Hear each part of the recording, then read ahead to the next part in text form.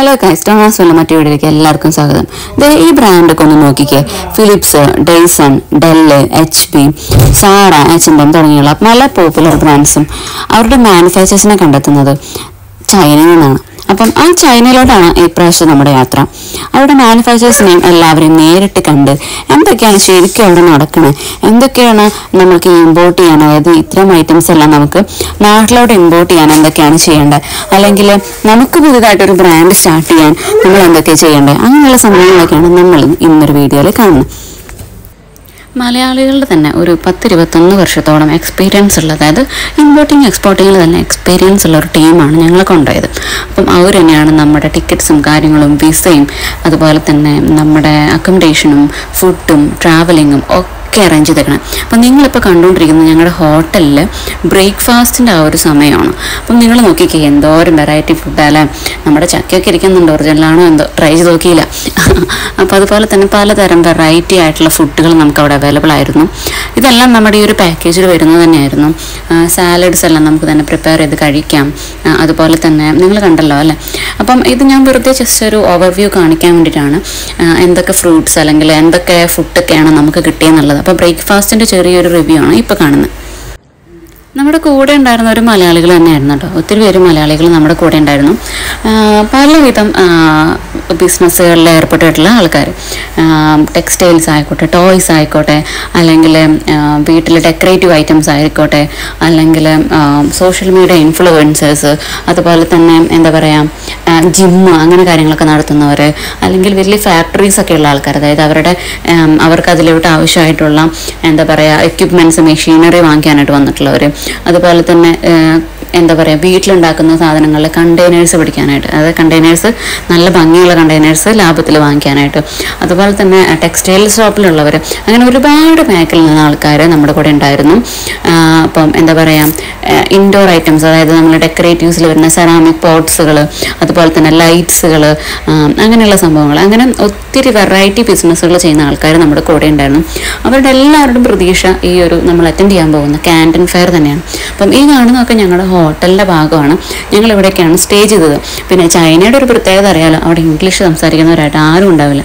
അപ്പം നമ്മൾ അവിടെ ഒരാളോട് ഒരു ചൈനീസ് ഒരു അവിടുത്തെ ഒരാളോട് സംസാരിക്കുന്നുണ്ടെങ്കിൽ നമുക്ക് ട്രാൻസ്ലേറ്റർ ആവശ്യമായിട്ട് വരും. അപ്പം നമ്മുടെ കൂടെ രണ്ട് ഗൈഡ് ഉണ്ടായിരുന്നു. അതുപോലെ തന്നെ നമ്മുടെ നമ്മുടെ കമ്പനിയിൽ നിന്നുള്ള മലയാളി സ്റ്റാഫുകൾ നമ്മളെ അസിസ്റ്റ് ചെയ്യാനും കാര്യങ്ങൾക്കും എല്ലാം ഉണ്ടായിരുന്നു. അപ്പം ചൈനയിൽ നമ്മൾ പെട്ടുപോവാണെങ്കിൽ അല്ലെങ്കിൽ നിങ്ങൾ ഒറ്റയ്ക്ക് പോകാനൊക്കെ ആയിട്ട് ശ്രമിക്കുകയാണെന്നുണ്ടെങ്കിൽ ഞാൻ പറയാച്ചാൽ അത് വേണ്ടാന്ന് പറയുള്ളൂ. കാരണം അവിടെ നമ്മുടെ ലാംഗ്വേജ് അതായത് നമ്മളൊരു നമ്പർ വണ്ണെന്നോ ടൂന്നോ ത്രീ എന്നോ പറഞ്ഞാൽ പോലും മനസ്സിലാവാത്ത ആൾക്കാരാണ്. അവർക്ക് ഒന്നും അറിയില്ല. അവരുടെ അക്ഷരങ്ങളും മീൻസ് അവരുടെ നമ്പേഴ്സൊക്കെ വേറെ വേറെ അവരുടെ ചൈനീസ് ഭാഷയിലാണ് അവർ പറയുക അപ്പം നമുക്ക് ഒന്ന് ആൾക്കാരോട് സംസാരിക്കണമെങ്കിൽ ഭയങ്കരമായിട്ട് ബുദ്ധിമുട്ടും. അപ്പം അങ്ങനെ ഒരു രാജ്യമാണ് ചൈന. നമുക്ക് വളരെ ദുർലഭമാണ് ഇംഗ്ലീഷിലുള്ള എന്താ പറയുക സൈൻ ബോർഡുകളോ അങ്ങനത്തെ കാര്യങ്ങളൊക്കെ കാണാനായിട്ട് പറ്റുള്ളൂ. ചൈനയിൽ പോയി കഴിഞ്ഞാൽ വശം കെട്ടുപോകും അപ്പോൾ അതുകൊണ്ട് ആരെങ്കിലുമൊക്കെ അറിയുന്നവർ അല്ലെങ്കിൽ ആരെങ്കിലുമൊക്കെ നമ്മളെ ലീഡ് ചെയ്യാനുണ്ട് അല്ലെങ്കിൽ നമുക്കൊന്ന് ഗൈഡ് ചെയ്യാനായിട്ടുണ്ടെന്നുണ്ടെങ്കിൽ അവരുടെ കൂടെ പോകാനായിട്ട് ശ്രമിക്കാം. ചൈനയ്ക്ക് പോകാൻ അത്ര വലിയ ചിലവൊന്നുമില്ല. വളരെ തുച്ഛമായ രീതിയിൽ നമുക്ക് പോയി വരാവുന്നതേ ഉള്ളൂ. പിന്നെ ഈ ഒരു ട്രിപ്പ് എന്ന് പറഞ്ഞു കഴിഞ്ഞാൽ ബിസിനസ് റിലേറ്റഡ് ആയതുകൊണ്ട് നമ്മളങ്ങനെ ടൂറിസ്റ്റ് പോലെ കുറേ കറങ്ങാനും അങ്ങനെയൊന്നും ഇവർ കൊണ്ടുപോകില്ല. നമുക്ക് ബിസിനസ്സുമായി റിലേറ്റഡ് ആയിട്ടുള്ള കാര്യങ്ങൾ മാത്രമേ ഇവർ കാണിക്കുള്ളൂ. ഓക്കെ പക്ഷേ നമ്മൾ വന്ന് ഹോട്ടലിൽ വന്ന് നമ്മുടെ ഒരു ദിവസത്തെ ഒരു ഓട്ടമഴം കഴിഞ്ഞതിന് ശേഷം ഹോട്ടലിൽ വന്നിട്ടുള്ള സമയത്ത് നമുക്ക് സ്ട്രീറ്റിലൊക്കെ ഇറങ്ങി നടക്കാം അല്ലെങ്കിൽ അങ്ങനത്തെ കാര്യങ്ങളൊക്കെ ചെയ്യാം. അതിലൊന്നും ഒരു പ്രശ്നമില്ല. പക്ഷെ നമ്മൾ നമ്മളായിട്ട് തന്നെ പോകണമെന്ന് മാത്രം. അല്ലെങ്കിൽ ഞങ്ങൾ ചെന്ന് വെച്ചാൽ ഞങ്ങളുടെ കൂടെയുള്ള എല്ലാവരും കൂടി അങ്ങനെ പോവുകയാണ് ചെയ്തത്. അപ്പം നമുക്ക് ഒരാളല്ലെങ്കിൽ മറ്റൊരാൾ കൂടെ ഉണ്ടാവുമല്ലോ. അപ്പം ആ ഒരു ധൈര്യത്തിൽ അങ്ങനെ അങ്ങ് കൂട്ടമായിട്ട് പോയിട്ട് അങ്ങനെ തന്നെ തിരിച്ചു വരാം. അങ്ങനെയൊക്കെയാണ് ചെയ്തത്. അപ്പം ഇതൊക്കെയാണ് ചൈനയിൽ പോകുമ്പോൾ നിങ്ങൾ ശ്രദ്ധിക്കേണ്ട കാര്യങ്ങൾ ഇനി ക്ലൈമറ്റിന്റെ കാര്യം പറയുകയാണെങ്കിൽ ഏറെക്കുറെ നമ്മുടെ ഇന്ത്യയുടെ തന്നെ ഒരു വെതർ തന്നെയാണ് ചൈനയിലും അനുഭവപ്പെട്ടത്. അപ്പം ആദ്യം നമുക്കിങ്ങനെ ഒരു തോട്ടം ഇനിയിപ്പോൾ അവിടുത്തെ ക്ലൈമറ്റ് എന്താണെന്നൊക്കെ അല്ലേ? അപ്പം യു കെയിലോ അല്ലെങ്കിൽ കാനഡയോ ഓസ്ട്രേലിയ അങ്ങനെയൊന്നല്ല മീൻസ് ഇന്ത്യയുമായിട്ട് ബന്ധപ്പെട്ട ഒരു അടുത്ത് കിടക്കുന്ന രാജ്യമായതുകൊണ്ട് ഏകദേശം നമ്മുടെ ഇന്ത്യൻ ക്ലൈമറ്റും വെതറൊക്കെ തന്നെയാണ് അവിടെ ഉണ്ടായിരുന്നത്. വെയിലായിരുന്നു. അന്ന് അത്രയും ചൂടല്ല ഒരു ഇരുപത്തേഴ് മുപ്പത് അതിനുള്ളിലൊക്കെ വരുന്ന പോലത്തെ ഒരു ടെമ്പറേച്ചർ ആയിരുന്നു. നമുക്ക് ഓവർ ക്ലോത്തിങ്ങോ അല്ലെങ്കിൽ ഭയങ്കര ലൂസ് ക്ലോത്തിങ്ങോ ഒന്നും ആവശ്യമില്ല. നമ്മൾ നോർമലായിട്ട് ധരിക്കുന്ന നമ്മുടെ കാഷ്വൽ ഡ്രസ്സുകൾ മാത്രമേ ആവശ്യമുണ്ടായിരുന്നുള്ളൂ.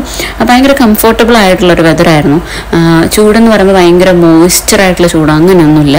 ഒരു നോർമൽ നമ്മുടെ സാധാ നോർമൽ നമ്മൾ അഡാപ്റ്റീവ് ആയിട്ടുള്ള സാധാ നോർമൽ ക്ലൈമറ്റ് ആയിരുന്നു ചൈനയിലുണ്ടായിരുന്നത്.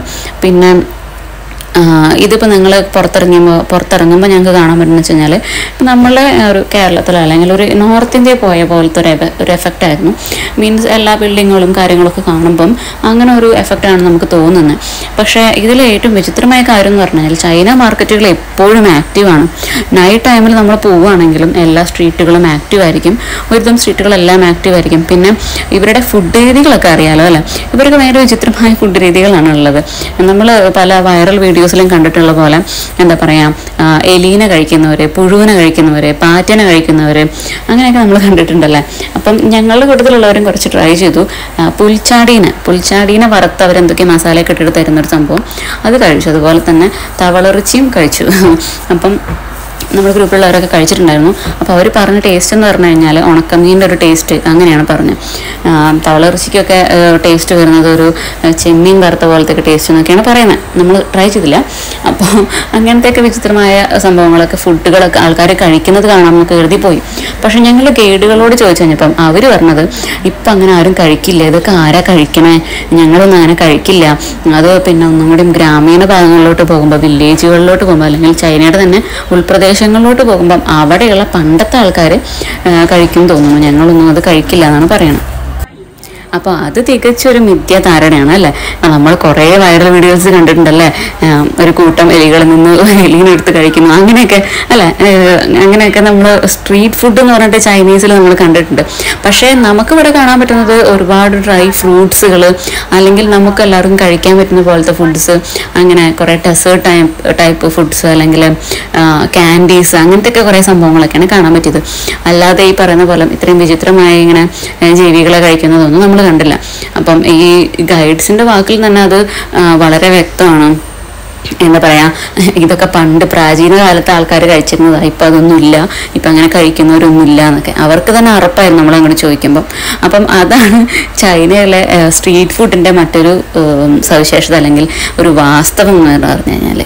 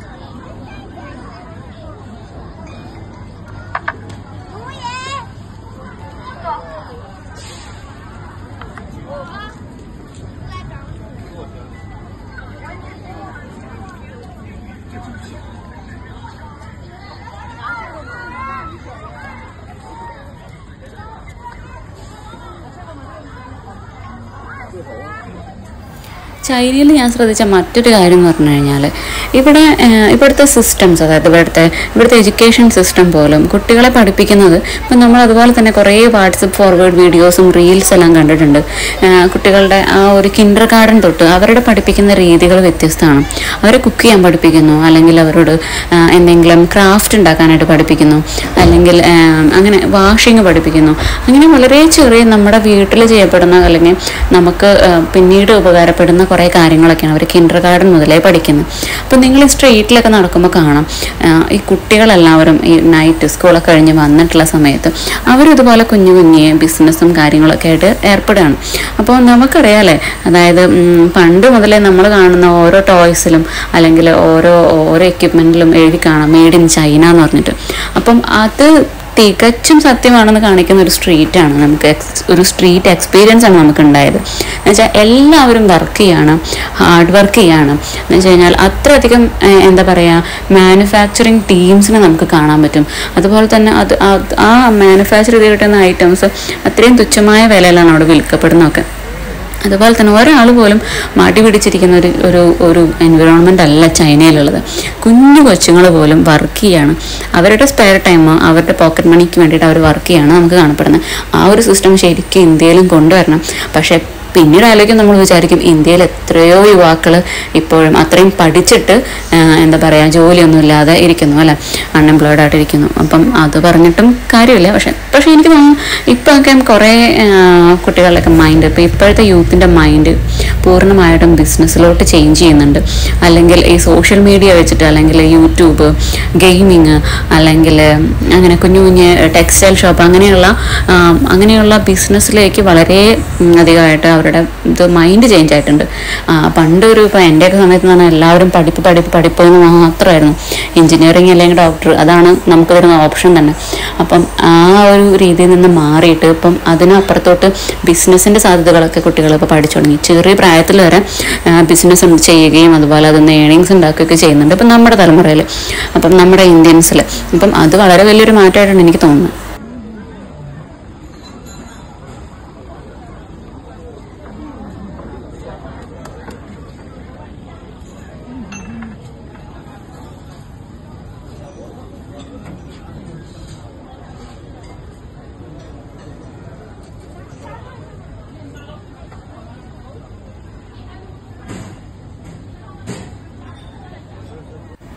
ഇവിടെ ഞാൻ കണ്ട മറ്റൊരു മറ്റൊരു സവിശേഷത എന്ന് പറഞ്ഞു കഴിഞ്ഞാൽ ഇവിടുത്തെ വണ്ടികളൊക്കെ ഏറെക്കുറെ ഇലക്ട്രിക് സ്കൂട്ടികളാണ് കേട്ടോ കൂടുതലും കാണപ്പെടുന്നത് ഇലക്ട്രിക് വണ്ടികളാണ്. ഇപ്പോൾ കാറുകളാണെങ്കിലും ചെറിയ റിക്ഷകൾ പോലത്തെ സംഭവങ്ങളാണെങ്കിലും അതുപോലെ തന്നെ ദേ കാണുന്ന സ്കൂട്ടേഴ്സ് ഇതൊക്കെ നോക്കി എന്തൊരു തിന്നായിട്ടാണ്.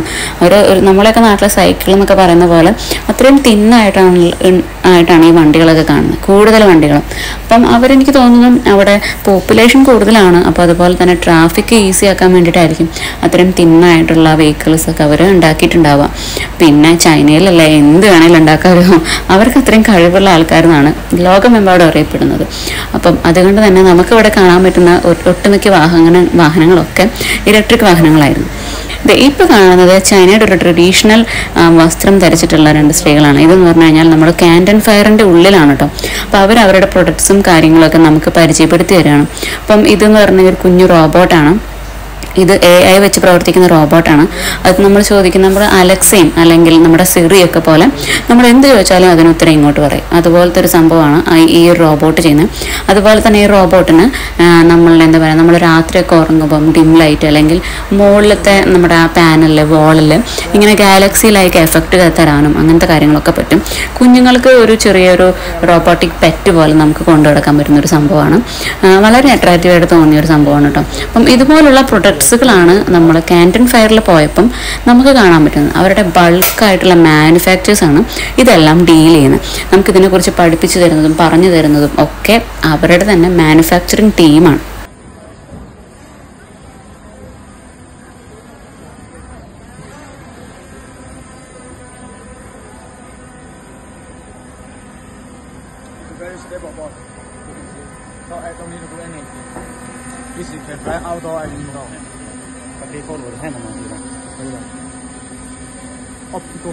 ഇത് ലൈക്ക് സെൻസറൊക്കെ വെച്ച് പ്രവർത്തിക്കുന്ന ഒരു തരം ഡ്രോൺ ആണ്. അപ്പോൾ നമ്മൾ താഴെ എന്തെങ്കിലും ഉണ്ടെന്നുണ്ടെങ്കിൽ അത് താഴോട്ട് പോകില്ല അപ്പോൾ നമ്മുടെ കയ്യെ വെച്ച് അയാൾ കാണിക്കുന്നത് അത് അത് ഡെമോൺസ്ട്രേറ്റ് ചെയ്യണം. അതായത് സെൻസർ വെച്ചിട്ടാണ് ആ ഒരു സംഭവം വർക്ക് ചെയ്യുന്നത്. താഴോട്ട് വീഴുന്ന ഏതെങ്കിലും സ്റ്റേറ്റ് ആണെന്നുണ്ടെങ്കിൽ അത് തന്നെ മുകളിലോട്ട് പോയിക്കോളും. അതാണ് ആ സെൻസറിന്റെ ആ ഒരു എഫക്റ്റാണ് ഇപ്പോൾ കാണിച്ച ആൾ പക്ഷേ ഇവിടെയൊക്കെ വരുമ്പം നമുക്ക് ഇതേ ടോയ് കാറുകൾ അങ്ങനെയൊക്കെ ഒത്തിരി സംഭവങ്ങൾ ഭയങ്കര വിലക്കുറവിൽ നമുക്ക് കാണാൻ പറ്റും. പക്ഷേ ഇവിടുത്തെ ഒരു ഒരു പ്രശ്നം എന്ന് പറഞ്ഞു കഴിഞ്ഞാൽ നമ്മളുടെ ഈ ഒരു ഫെയർ മാനുഫാക്ചറിങ് ടീമാണല്ലോ നടത്തുന്നത് ഞാൻ പറഞ്ഞല്ലോ. അപ്പം അവർ അവരുടെ അടുത്ത് നമുക്ക് സിംഗിൾ പീസ് ആയിട്ട് വാങ്ങിക്കാൻ പറ്റത്തില്ല. അപ്പം ഞാനിങ്ങനെ വിചാരിച്ചു അയ്യോ എന്റെ കൊച്ചിന് കുറച്ച് ടോയ്സ് വാങ്ങിക്കാമല്ലോ അങ്ങനെയൊക്കെ. പക്ഷേ അങ്ങനെ സിംഗിൾ പീസ് ആയിട്ട് നമുക്ക് വാങ്ങിക്കാൻ പറ്റത്തില്ല. നമ്മളിപ്പം എന്ത് ഐറ്റംസ് ഇവിടെ കാണുകയാണ് നമുക്ക് പർച്ചേസ് ചെയ്യണമെന്നുണ്ടെങ്കിലും നമ്മൾ അവരുടെ കോൺട്രാക്ട് സൈൻ ചെയ്ത് അല്ലെങ്കിൽ അവരുടെ ഒരു ഡീലിംഗ് വെച്ച് അല്ലെങ്കിൽ ഒരു പ്രൈസ് ഫിക്സ് ചെയ്തിട്ട് ബൾക്ക് എമൗണ്ട് ആയിട്ടാണ് നമ്മൾ അത് വാങ്ങിക്കുക ഇത് കുട്ടികളുടെ ടോയ്സിന്റെ സെക്ഷനും കാര്യങ്ങളൊക്കെയാണ് കാണുന്നത് കേട്ടോ തന്നെ ഓടുന്ന ഒരു തരം കണ്ടില്ലേ? ഡിനോസറൊക്കെയാണ് കാണുന്നത്. അപ്പം ഇതിന്റെ പ്രത്യേകത എന്ന് വെച്ച് കഴിഞ്ഞാൽ നമുക്കൊന്നും സിംഗിൾ പീസായിട്ട് വാങ്ങിക്കാൻ പറ്റത്തില്ല. നമ്മൾ വാങ്ങിക്കുമ്പം അത് ബൾക്ക് എമൗണ്ട് ആയിട്ട് ഓർഡർ ചെയ്ത് അവർ ഷിപ്പിംഗ് ചെയ്യും. അപ്പം അവർക്കത് ലാൻഡ് ബൈ ഷിപ്പിംഗ് ഉണ്ട്. അല്ലെങ്കിൽ ഷിപ്പ് വഴി അവർ ഷിപ്പ് ചെയ്യും. സോറി ഷിപ്പ് വഴി ഷിപ്പ് ചെയ്യും. ഓക്കെ കടൽ മാർഗം അവർ ഷിപ്പ് ചെയ്യും. അവർ എയർലൈൻസ് ത്രൂ ഷിപ്പ് ചെയ്യും. അപ്പം ഇതെല്ലാം അവർ ഇറക്കുന്നത് ബൾക്ക് ഓർഡറാണ് അവർ ചെയ്യുക എപ്പോഴും. കാരണം നമ്മൾ ഡീൽ ചെയ്യുന്നത് മാനുഫാക്ചേഴ്സുമായിട്ടാണ്. ഇവരുടെ ഒരു പ്രത്യേകത എന്ന് പറഞ്ഞു കഴിഞ്ഞാൽ ഇവർ കണ്ടെയ്നേഴ്സ് ആയിട്ട് അതായത് ഞാൻ പറഞ്ഞല്ലോ ബൾക്ക് എന്ന് പറയുമ്പം കണ്ടെയ്നർ കണക്കിനാണ് ഈ സംഭവങ്ങൾ അവർ ഇറക്കുക. അപ്പം ഇവിടെ നമ്മളിങ്ങനെ ഒരു ഗ്രൂപ്പായി പോകുമ്പം അതിന്റെ ഒരു പ്രത്യേകത എന്ന് പറഞ്ഞു കഴിഞ്ഞാൽ നമ്മൾ ഒറ്റയ്ക്ക് പോകുമ്പം നമ്മൾ ഒറ്റയ്ക്ക് ഡീൽ ചെയ്ത് ഒരു കണ്ടെയ്നർ ഫുള്ള് നമുക്ക് ആവശ്യമുള്ള പ്രൊഡക്ട്സ് വാങ്ങിക്കേണ്ടി വരും. അപ്പം നമ്മൾ ഗ്രൂപ്പായിട്ട് പോകുമ്പം ഒരു കണ്ടെയ്നർ നമുക്ക് സ്പ്ലിറ്റ് ചെയ്ത് ഹാഫ് ഹാഫ് ആയിട്ടോ അല്ലെങ്കിൽ ത്രീ ബൈ ഫോർത്ത് ആയിട്ടോ അല്ലെങ്കിൽ വൺ ബൈ ഫോർ ആയിട്ടോ നമുക്ക് നമ്മുടെ പ്രൊഡക്ട്സ് ഇമ്പോർട്ട് ചെയ്യാനായിട്ട് പറ്റും. അപ്പം അതാണ് നമ്മളൊരു ഗ്രൂപ്പായിട്ടൊരു ബിസിനസ് മീറ്റിന് അല്ലെങ്കിൽ ബിസിനസ് ഫെയറിന് പോകുമ്പോഴത്തെ പ്രത്യേകത. അപ്പം ഞങ്ങളിപ്പോൾ പോകുമ്പോൾ തന്നെ ഞങ്ങളുടെ ഒരുപാട് ഫ്രണ്ട്സ് പറഞ്ഞു ചൈനയിലോട്ടല്ലേ പോകുന്നത് ഈ സാധനങ്ങളൊക്കെ വാങ്ങിക്കാൻ പറ്റുമോ ഇങ്ങനെ വാങ്ങിക്കാൻ പറ്റുമോ പക്ഷെ ഞങ്ങൾ ട്രൈ ചെയ്തു. ഞങ്ങൾക്ക് പോലും അങ്ങനെ വാങ്ങിക്കാനായിട്ട് പറ്റിയില്ല. അപ്പം ഇതായിരുന്നു അതിന്റെ സത്യാവസ്ഥ എന്ന് പറയുന്നത്.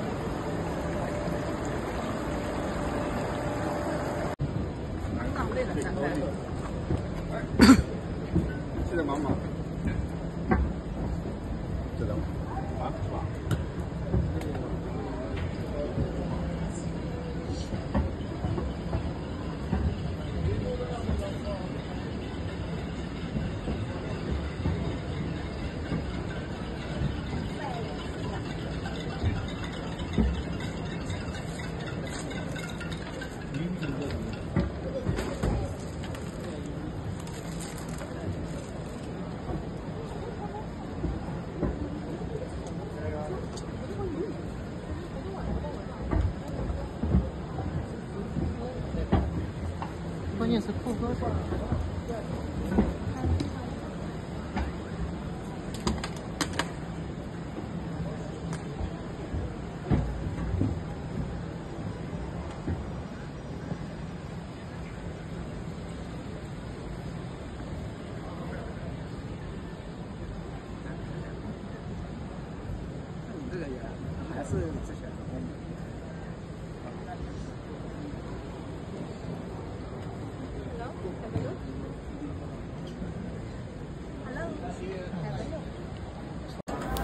ചില സെക്ഷനിലൊക്കെ നമ്മൾ പോയി കഴിയുമ്പം നമ്മൾ പേഴ്സണലി നാട്ടിലുള്ളപ്പോൾ വാങ്ങിച്ചേക്കുന്ന കുറേ ഐറ്റംസ് ഈ കാണുന്ന ടോയ് കാഴ്സ് അതായത് കുട്ടികൾക്ക് ഇരുന്ന് ഓടിക്കാനൊക്കെ വരുന്ന ടോയ് കാഴ്സ് ഇതൊക്കെ നമ്മൾ നാട്ടിൽ ആമസോണിലൊക്കെ റേറ്റ് നോക്കി കഴിഞ്ഞാൽ പതിനായിരം പന്ത്രണ്ടായിരം പതിനയ്യായിരം ഇരുപതിനായിരം ഒക്കെയാണ് റേറ്റ് കാണുന്നത്. പക്ഷേ ഇവിടെ നമ്മളിത് വാങ്ങിക്കുമ്പം ഇതിന്റെ റേറ്റ് എന്ന് പറയുന്നത് മൂവായിരം ഒക്കെയാണ്. അതായത് ഇവിടെ നമ്മൾ സിംഗിൾ പീസിന്റെ അവർ റേറ്റ് പറയുന്നത് മൂവായിരമാണ്. ഓക്കെ അതിൽ ടാക്സും അല്ലെങ്കിൽ ഇമ്പോർട്ടിങ് അതിന്റെ കസ്റ്റംസ് അങ്ങനെ കുറേ കാര്യങ്ങൾ ഷിപ്പിംഗ് അങ്ങനെ കുറേ കാര്യങ്ങൾ എക്സ്ട്രാ വരുമെങ്കിലും സ്റ്റിൽ നമുക്ക് നമുക്ക് നമ്മുടെ മാർക്കറ്റിലോട്ട് വരുമ്പം അത് നമ്മൾ വിൽക്കുന്ന ആൾക്കാർക്ക് അതായത് സെല്ലേഴ്സിന് വളരെ നല്ലൊരു പ്രോഫിറ്റാണ് തരുന്നത്. അപ്പം അതൊക്കെ ഭയങ്കര ഒരു എന്താ പറയുക ഞെട്ടിപ്പിച്ച കാര്യങ്ങളാണ് കേട്ടോ. ഞാനിനി അധികം വോയിസ് ഓവർ തന്നെ നിങ്ങളെ ബുദ്ധിമുട്ടിക്കില്ല. ഞാൻ നിങ്ങൾക്ക് ഈ വീഡിയോ കണ്ട് ഇതിൽ എന്തൊക്കെ പ്രൊഡക്ട്സ് ഒക്കെയാണ് അവൈലബിൾ ആയിട്ടുള്ളത് അതങ്ങനെയൊക്കെ കാണാൻ വേണ്ടിയിട്ട് ബിസിനസ് ചെയ്യാൻ താല്പര്യമുള്ള ആൾക്കാർക്ക് വേണ്ടിയിട്ട് ഈ ഒരു വീഡിയോ അങ്ങനെ വിട്ടേക്കാണ്. അപ്പം ഇവിടെ നിങ്ങൾക്ക് കുറേ പ്രൊഡക്ട്സും കാര്യങ്ങളൊക്കെ കാണാം. അപ്പോൾ അതൊക്കെ കാണുക. അതുപോലെ തന്നെ ഇത് നിങ്ങൾക്ക് എന്തെങ്കിലും ഒരു ബിസിനസ്സോ അങ്ങനെ എന്തെങ്കിലും കാര്യങ്ങൾ സ്റ്റാർട്ട് ചെയ്യാനായിട്ട് ഒരു ഇൻസ്പിറേഷൻ ആവുകയാണെന്നുണ്ടെങ്കിൽ അല്ലേ? അതങ്ങനെ ഒരു ഒരു ഐഡിയ തരാണെന്നുണ്ടെങ്കിൽ ഞാൻ ഹാപ്പിയാണ് അപ്പം നിങ്ങളിങ്ങനെ കണ്ടുകൊണ്ടിരിക്കാം അതിനിടയിൽ എന്തെങ്കിലും സ്പെഷ്യൽ കാര്യങ്ങൾ വരുമ്പം ഞാനിങ്ങനെ വോയിസ് ഓവറായിട്ട് പറയുന്നതായിരിക്കും. അതുപോലെ തന്നെ നിങ്ങൾക്ക് എന്തെങ്കിലും ഡൗട്ടുകൾ കാര്യങ്ങളൊക്കെ ഉണ്ടെങ്കിൽ നിങ്ങൾ കമന്റ് ബോക്സിൽ ചോദിക്കാം കേട്ടോ.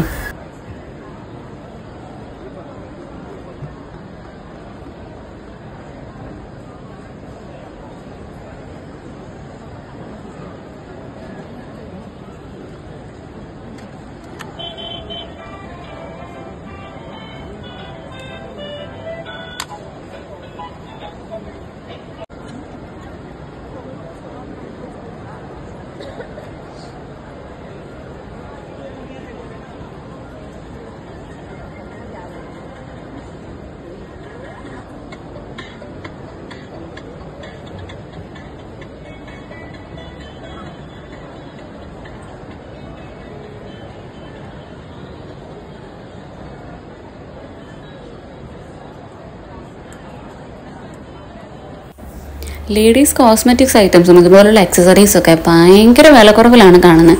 അപ്പം അതുപോലെ തന്നെ ക്വാളിറ്റി എന്ന് പറയുമ്പോൾ നമ്മൾ വിചാരിക്കും ഓ ഇതൊന്നും അങ്ങനെ ഇങ്ങനെ യൂസ് ചെയ്യുമ്പം നാശമായി പോകുന്ന പോലത്തെ ക്വാളിറ്റി ആയിരിക്കുന്നു അല്ല നമ്മുടെ ടോപ്പ് ബ്രാൻഡ്സിന്റെ അത്രയും ക്വാളിറ്റീസ് ഇവർ തരുന്നുണ്ട് ഇവരുടെ പ്രൊഡക്ട്സിന് അപ്പം നമ്മൾ വിചാരിക്കും നമുക്കൊരു ഒരു ഒരു ബേസിക് മൈൻഡ് ഉണ്ടല്ലോ. അതായത് വില കുറയുമ്പം ക്വാളിറ്റിയും കുറവായിരിക്കുന്നു.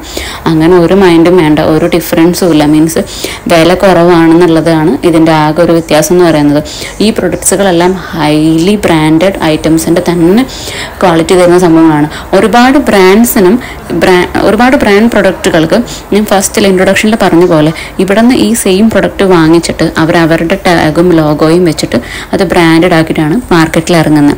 അപ്പം അതിനുള്ള എക്സാമ്പിൾസൊക്കെയാണ് ഞാൻ ആദ്യമേ പറഞ്ഞത്. അപ്പം ഈ സംഭവം തന്നെയാണ് നമുക്ക് ബ്രാൻഡഡ് ലോഗോ വെച്ചിട്ട് നമുക്ക് കിട്ടുന്നത്. അപ്പോൾ ഇതൊക്കെ തന്നെയാണ് ബിസിനസ് എന്ന് പറയുന്നത് ബിസിനസ് മൈൻഡ് എന്ന് പറയുന്നത്.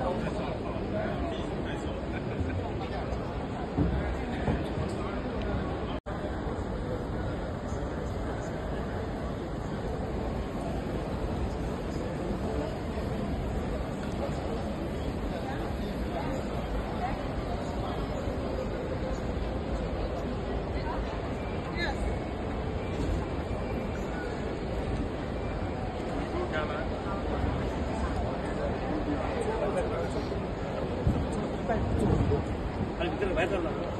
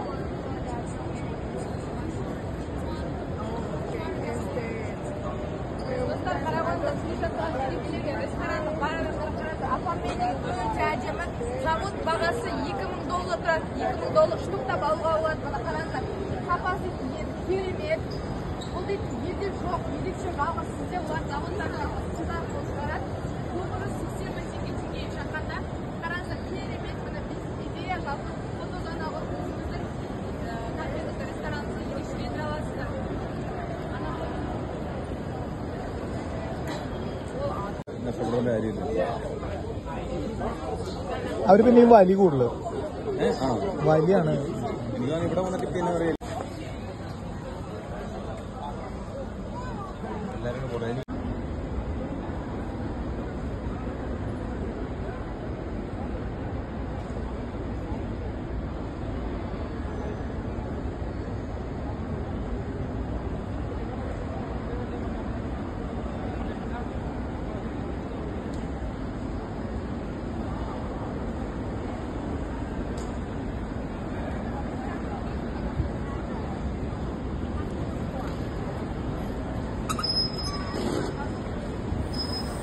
ക്യാന്റീൻ ഫയർ മൊത്തം കാണിക്കാന്ന് പറഞ്ഞാൽ ഒരിക്കലും പോസിബിൾ ആയിട്ടുള്ള കാര്യമില്ല അതേ ഇതാണ് ഞാൻ നേരത്തെ പറഞ്ഞ പുൽച്ചാടി കേട്ടോ ചെറിയ സൈസൊന്നും അല്ല അത്യാവശ്യം വലുപ്പമുള്ള ആളാണ്.